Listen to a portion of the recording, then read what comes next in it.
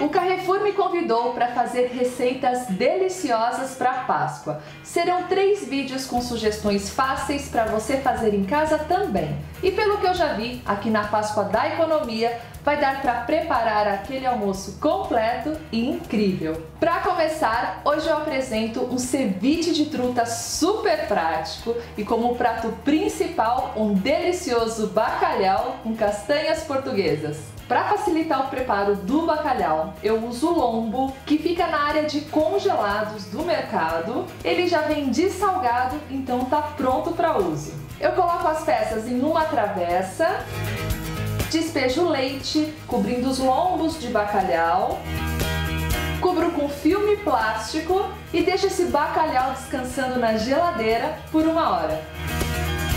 Enquanto isso, eu descasco as batatas corto em fatias e cozinho em água quente com sal. Esse processo é rapidinho porque as batatas ainda precisam ficar firmes. Agora em uma travessa eu rego um fio de azeite. As batatas pré-cozinharam, eu já escorri e agora eu vou formar uma camada.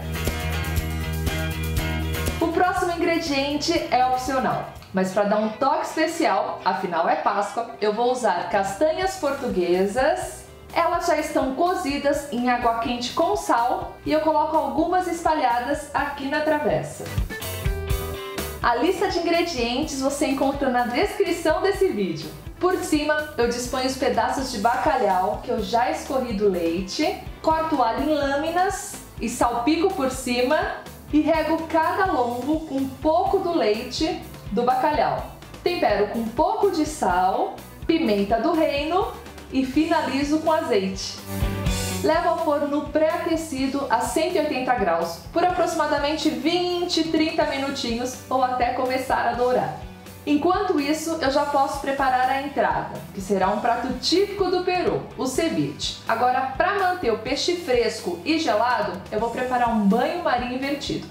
Então, pego uma tigela grande, coloco gelo, água gelada e uma tigela em cima, que é onde eu vou preparar o ceviche. Nessa receita eu vou usar truta fresca. Os filés já estão limpos e sem pele. E aqui você pode usar o peixe da sua preferência. Salmão, tilápia, linguado. O importante é que ele esteja bem fresco. Corto os filés em cubos e transfiro para a tigela.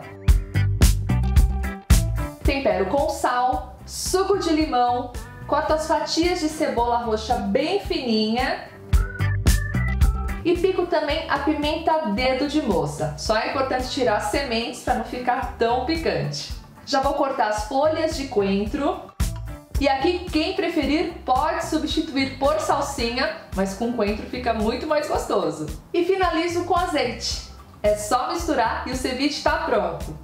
O ideal é você preparar na hora para servir fresquinho, mas quem preferir pode deixar uma ou duas horas na geladeira coberto com filme plástico. Você pode servir em uma travessa ou em porções individuais.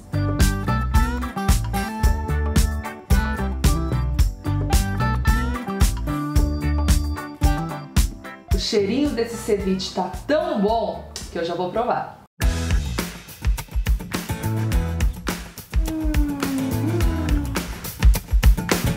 Finalizar o bacalhau, eu acrescento azeitonas pretas,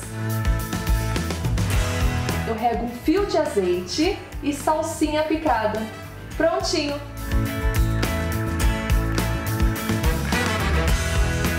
Já vou montar o prato.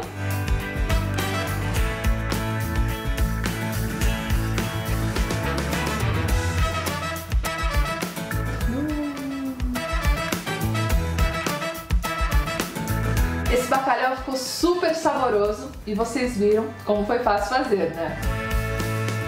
Eu adorei e espero que vocês tenham gostado também. Receita mais que recomendada e desafio lançado faz na sua Páscoa. E eu vou ficando por aqui.